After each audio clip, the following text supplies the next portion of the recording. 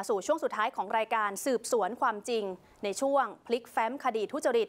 หากพูดถึงปัญหาการบุกรุกพื้นที่ป่าสงวนแห่งชาติ รวมไปถึงพื้นที่ห่วงห้ามอื่น ๆ ของภาครัฐ ต้องยอมรับนะคะว่าปัญหานี้เป็นปัญหาที่เรื้อรังต่อเนื่องยาวนาน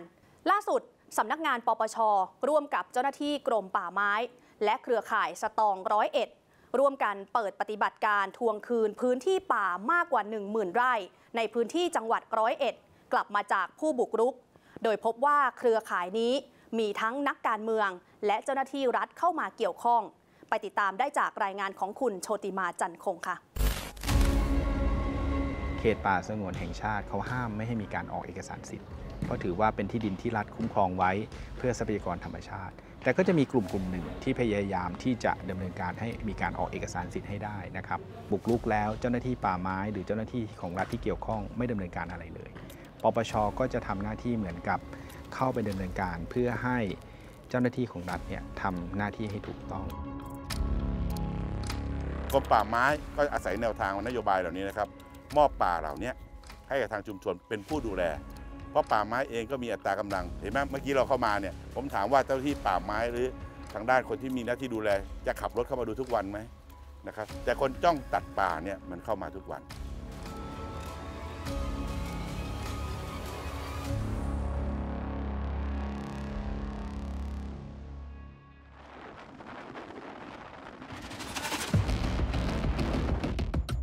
สืบสวนความจริงลงพื้นที่ป่าคำใหญ่คำขวาง ในตำบลหนองขาม หนองหมื่นถ่าน และตำบลน่อม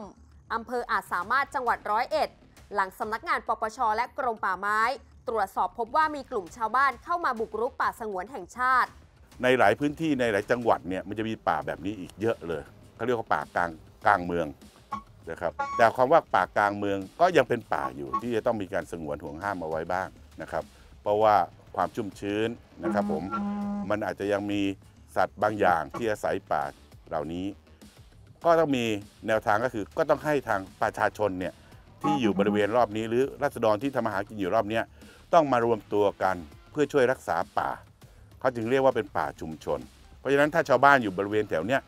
เขาอยู่ทุกวันเขาอยู่เป็นประจำนะเขาก็ทำมาหากินมาปลูกโรงปลูกไร่มาทำนาทำนาเขาเห็น พอเห็นปุ๊บ เขาต้องแจ้งเจ้าหน้าที่แล้วว่ามันมีการลักลอบตัด เพราะมันออกได้ไม่กี่ทางอะเนี่ยนะครับนะเพราะฉะนั้นสิ่งเหล่านี้ที่เราจะมาเพื่อกระตุ้นให้แต่ทางรัษฎรหรือประชาชนที่ทำมาหากินอยู่เนี่ยต้องช่วยการหวงแหนรักษาป่าผืนสุดท้ายนะครับจากหมื่นกว่าไร่เหลือพันกว่าไร่ อันนี้เป็นอันหนึ่งที่ทางปปชถ้าถามว่าเอ๊ะมันเป็นหน้าที่ปปชไหม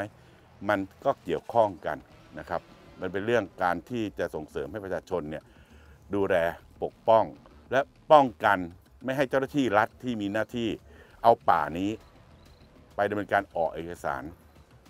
ไม่ชอบหรือไม่ถูกต้อง หรือไม่ให้แก่ผู้ที่มีคุณสมบัติที่ไม่ถูกต้อง เราเดินเท้าไปเกือบ 2 กิโลเมตร พบต้นพยอมอายุกว่า 60 ปี ถูกตัดขวางไว้ รอนำไปทำประโยชน์เอารถดันเข้ามาเลยเหรอเออนะครับก็ครับสภาพอาจจะเป็นไม้ที่ยังไม่เป็นที่ต้องการของตลาดมากเหรอนะครับ แต่ว่าเมื่อก่อนสภาพไม่ได้เป็นแบบนี้ใช่ไหมหรือว่ายังไงไม่ค่ะ เป็นยังไงบ้าง มันก็มีต้นไม้เยอะกว่านี้อยู่แต่ก่อนหน้านี้มันอุดมสมบูรณ์มากกว่านี้ใช่ไหมค่ะใช่ อ๋อ ต้นไม้ใหญ่จะเยอะย่างงี้ยหรอนะคะเป็นแบบนี้เลยจะเยอะค่ะมันจะไม่โล่งแบบนี้ไม่โล่งแบบนี้ ค่ะ ส่วนใหญ่เป็นไม้ไม้มีไม้มีมูลค่าพวกพยุงอะไรอย่างนี้ใช่ไหมใช่ค่ะ ประมาณนั้นมันก็จะมีแบบต้นต้นหยังอายุนี่ต้นสะแบงสะแบงหน้าอื มมันจะมีหลากหลายค่ะอืมหลายสายพันธุ์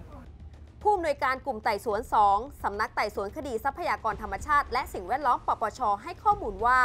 กรณีมีการร้องเรียนเรื่องการออกโฉนดที่ดินในตำบลหนองขามจำนวน 21 แปลง ในเขตป่าสงวนแห่งชาติ ป่าคำใหญ่และป่าคำขวาง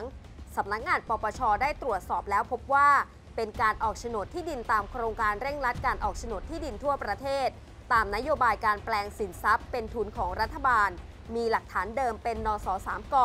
ซึ่งออกโดยวิธีการเดินสำรวจเมื่อปี 2518 ก็จะมีการเอ่อเป็นลักษณะกฎหมายที่ให้โอกาสกับราษฎรที่เข้าไปทำกินในเขตป่าไม้นะครับได้มีโอกาสเข้าไปทำกินได้โดยที่ไม่ต้องไปฝ่าฝืนกฎหมาย เป็นลักษณะของการเอ่อนุญาตตามพระราชบัญญัติป่าสงวนแห่งชาตินะครับ ซึ่งกระบวนการตรงนี้ก็ เท่าที่ทราบเนี่ยอยู่ระหว่างการดำเนินงานของทางจังหวัดร้อยเอ็ด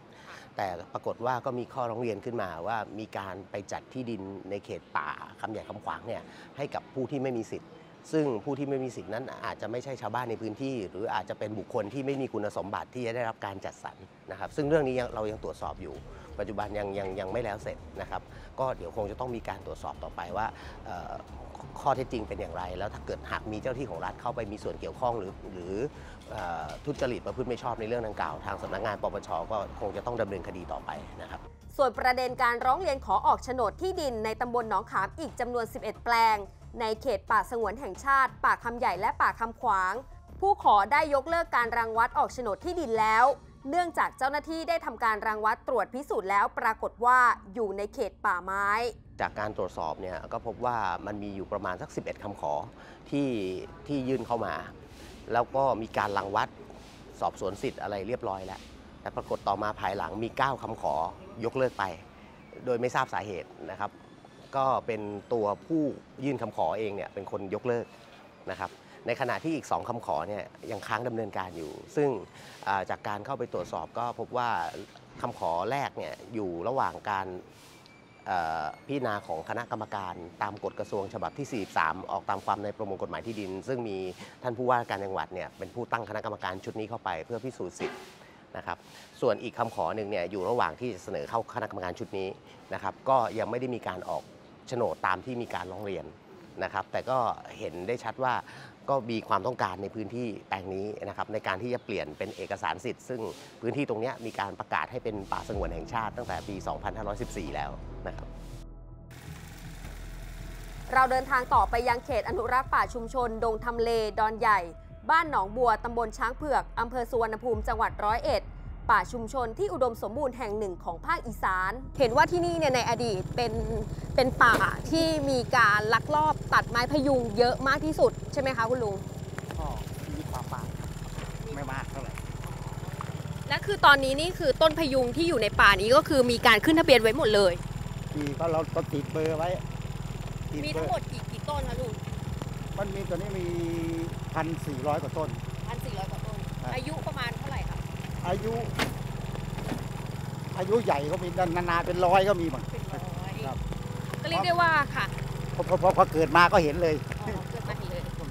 เรียกได้ว่าเป็นป่าที่อุดมสมบูรณ์ที่สุดในภาคอีสานนะคะ แล้วก็คาดว่ากำลังจะก้าวสู่บทใหม่ก็คือเป็นแหล่งคาร์บอนเครดิตใช่ไหมคะ ป่าชุมชนดงทำเลดอนใหญ่ ปัจจุบันกำลังก้าวสู่บทบาทใหม่ ในฐานะแหล่งคาร์บอนเครดิตที่สำคัญของประเทศไทย หลังชาวบ้านช่วยกันปกป้องผืนป่าชุมชนแห่งนี้ไว้ได้ จากขบวนการลักลอบตัดป่าไม้พยุงในอดีต ไม้พยุงจำนวนเกือบ 2,000 ต้น ถูกตีตราขึ้นทะเบียนไว้ตั้งแต่เส้นผ่าศูนย์กลางประมาณ 50-120 เซนติเมตรเขาก็เลยทำงานกันรวดเร็วเลยทีมเขาลงมาจะเอาขอนไม้ออก ใช่ คือเห็นเจตไม่จำใช่นงง่ายของของชาวบ้านเขาแล้ว มันคำพูดที่อาจารย์อาตมาเคยพูดบอกว่า ป่าพื้นนี้เขารักเขาหวงแหนเขาเฝ้าไม้พยุงเนี่ยแหละอย่ามาตัดนายนิวัฒชัยเกษมมงคล เลขาธิการคณะกรรมการปปช ได้ให้ข้อมูลว่า ชาวบ้านในชุมชนดงทำเลดอนใหญ่ มีความหวังว่าการอนุรักษ์และการใช้ประโยชน์ป่าอย่างยั่งยืน จะทำให้ป่าแห่งนี้ สามารถกักเก็บก๊าซคาร์บอนไดออกไซด์ได้ในปริมาณมาก สอดคล้องกับสำนักงานปปช ที่เล็งเห็นความสำคัญในการตรวจสอบเรื่องการบุกรุกที่ดิน ลักลอบตัดไม้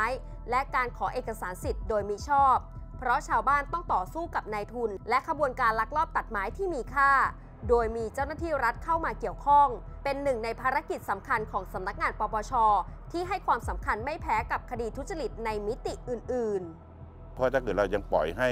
มีการออกเอกสารสิทธิ์ที่ไม่ถูกต้องอย่างนี้อีก มีการครอบครองที่ไม่ถูกต้อง โดยมีเจ้าหน้าที่ของรัฐนะพอคำว่ามีเจ้าหน้าที่ของรัฐเนี่ยมันเริ่มเกี่ยวข้องกับปปชแล้วนะครับ วันนี้เรามาเพื่อเฝ้าระวัง เราไม่ได้บอกว่าใครผิดใครถูกนะครับ ผมก็ประสานงานกับทางท่านอธิบดีป่าไม้ท่านสุรชัยนะครับ ท่านก็บอกว่าความจริงมันเคยมีปัญหาอยู่ แต่วันนี้ปัญหาแก้ไขแล้วและเขามอบป่านี้ให้แก่ชุมชนช่วยดูแลนะก็เมื่อกี้มีประชาชนใส่เสื้อสีเหลืองนะครับ ก็เป็นผู้ดูแลนะครับ ก็ถือว่าเป็นชุมชนที่เข้มแข็งนะครับ เป็นบริเวณที่ถูกแผ้วถางเลยนะต้นไม้ใหญ่หายหมดแล้วเห็นไหมแย่งเลยเนี่ยนะครับ เพราะฉะนั้นมันยังเหลืออีก แต่มันจะเหลืออีกถึงกี่ปีนะวันนี้เราอาจจะเห็นสภาพแบบนี้อีกยาวเนี่ยเขียวๆนั่นเราอาจจะไม่เห็นแล้วถ้ามาอีกทีหนึ่งรองเลขาธิการคณะกรรมการปปชภาค 4 ได้เปิดเผยว่าสำนักงานปปชได้เพิ่มกลไก โดยใช้หลักสูตรต้านทุจริตศึกษา มาเชื่อมการทำงานระหว่างเครือข่ายป่าชุมชนกับเยาวชน โดยมีการสร้างเครือข่าย STRONG พิทักษ์ป่าและทรัพยากรธรรมชาติ ซึ่งเป็นโมเดลการทำงานที่เข้มแข็งร่วมกับเครือข่ายป่าชุมชนเกือบ 200 แห่งในจังหวัดร้อยเอ็ดเพื่อวางแผนแนวทางให้ป่าชุมชนนั้น สามารถขายคาร์บอนเครดิตได้ เป็นหลักประกันในการดูแลรักษาป่าเป็นไปอย่างยั่งยืนต่อไปในอนาคต คือในส่วนของปปชเนี่ยที่ผมนำเรียนว่าเรามีเครือข่าย ชมรมสตรอง ในการเฝ้าระวังรักษาสาธารณประโยชน์ รักษาประโยชน์ของเขาในพื้นที่ เมื่อเขามีข้อมูลเนี่ยเขาจะแจ้งมาที่ปปชว่าเอ่อพื้นที่เนี่ยมีการบุกรุกนะโดยโดยในทุนเอ่อโดยเจ้าหน้าที่ของรัฐมีส่วนร่วมไม่ว่าเป็นป่าไม้ที่ดินหรืออปทที่มีหน้าที่ดูแลด้วย เรียกเรียกง่ายๆก็คือนักสืบเนี่ยจะให้นักสืบเขาลงพื้นที่ไปดูก่อนนะครับ ว่าพื้นที่เนี่ย มีการบุกรุกจริงไหมอันนี้ก็จะเป็นไปในทางลับ ในส่วนของปปชเนี่ยเราจะรักษาความลับของผู้ร้อง ชื่อที่อยู่ผู้ร้องหรือผู้ให้ข้อมูลเขาได้จริง ปัจจุบันสังคมไทยมีความตื่นตัวในการต่อต้านการทุจริตมากขึ้น เกิดกระแสสังคมที่ไม่ทนต่อการทุจริต รู้จักแยกแยะผลประโยชน์ส่วนตนและส่วนรวม ไม่ให้ไม่รับสินบน และกล้าชี้เบาะแสเมื่อพบเห็นการทุจริตที่เกิดขึ้น ในส่วนของผู้คับใช้กฎหมายเองเนะครับ CPI เนี่ยสะท้อนมาหลายส่วนนะ สะท้อนในส่วนหนึ่งก็คือในเรื่องของอภาพลักษณ์เศรษฐกิจนะครับ การใช้งบประมาณของแผ่นดินว่าเป็นไปอย่างมีประสิทธิภาพหรือไม่ การบังคับใช้กฎหมายนะครับว่าลงโทษผู้ทำความผิดเนี่ยเด็ดขาดหรือไม่อะไรต่างๆนะครับ แล้วก็รวมไปถึงเรื่องของอค่านิยมของประชาชนนะครับ ว่าในประเทศไทยของเราเองเนี่ยเห็นว่าเรื่องการทุจริตเนี่ยเป็นเรื่องที่สำคัญสำหรับพวกพวกพวกเขาหรือไม่ อะไรอย่างนี้นะครับงั้นปปชเองเนี่ยเราพยายามที่จะทำสองอย่างควบคู่กันไปนะครับไม่ว่าจะเป็นในเรื่องของการปราบปรามการทุจริต เพื่อให้การบังคับใช้กฎหมายเป็นไปอย่างมีประสิทธิภาพและประสิทธิผลนะครับส่วนในเรื่องของงานป้องกันเนี่ยเราก็พยายามที่จะส่งเสริมนะครับค่านิยมในความซื่อสัตย์สุจริตอะไรต่างๆ เพื่อให้ประชาชนในประเทศไทยเนี่ยได้ตระหนักรู้ว่าการทุจริตนั้นเป็นภัยสำคัญสำหรับประเทศไทย สถานการณ์การทุจริตคอร์รัปชันของประเทศไทยยังมีแนวโน้มทวีความรุนแรง และซับซ้อนมากขึ้น สำนักงานปปชได้ปรับปรุงกลไกเพิ่มมาตรการ เพื่อยกระดับงานป้องกันและปราบปรามการทุจริตในประเทศให้มีประสิทธิภาพสูงขึ้น เพื่อตอกย้ำความเชื่อมั่นต่อระบบการรับเรื่องร้องเรียนของสำนักงานปปชว่า จะปกป้องข้อมูลของผู้ร้องเรียน และสามารถเป็นที่พึ่งของประชาชนได้ เพราะค่า CPI ดัชนีการรับรู้ทุจริตนั้น ขึ้นอยู่กับการตระหนักรู้ของประชาชนเกี่ยวกับการทุจริต ดังนั้นหากมีการสืบสวนการปราบปรามการทุจริตครั้งใหญ่ หรือมีบุคคลสำคัญในระดับประเทศเข้าไปเกี่ยวข้อง สถานการณ์ภาพลักษณ์ของประเทศไทยนั้น จะถูกจับตามองโดยเฉพาะนักลงทุนชาวต่างชาติ ที่มองว่าประเทศไทยนั้น ยังมีการทุจริตครั้งใหญ่เกิดขึ้น โชติมาจันคง สืบสวนความจริง รายงาน จากเคสนี้จะเห็นได้เลยนะคะว่าปัจจุบันสังคมไทยเป็นสังคมที่ตื่นตัวกับปัญหาการทุจริต โดยเฉพาะชาวบ้านและเครือข่ายสตรองในพื้นที่จังหวัดร้อยเอ็ดที่กล้าชี้เบาะแสการทุจริตเมื่อพบเห็นการกระทำความผิด แม้ว่าผู้กระทำความผิดนั้นจะเป็นนักการเมือง หรือเป็นเจ้าหน้าที่รัฐในพื้นที่ก็ตาม ซึ่งนี่ถือเป็นการสร้างค่านิยมที่ดี ที่จะส่งผลต่อการยกระดับค่าคะแนน CPI ของประเทศไทยในอนาคต ซึ่งเป็นหนึ่งในนโยบายของรัฐบาล ที่กำลังเร่งแก้ไขปัญหาการทุจริตคอร์รัปชันอย่างจริงจัง และทั้งหมดนี้ก็คือรายการสืบสวนความจริงประจำวันนี้ กลับมาพบกันใหม่วันเสาร์หน้า เวลา4ทุ่มครึ่ง ทางเนชั่นทีวีช่อง 22สำหรับวันนี้ สวัสดีค่ะ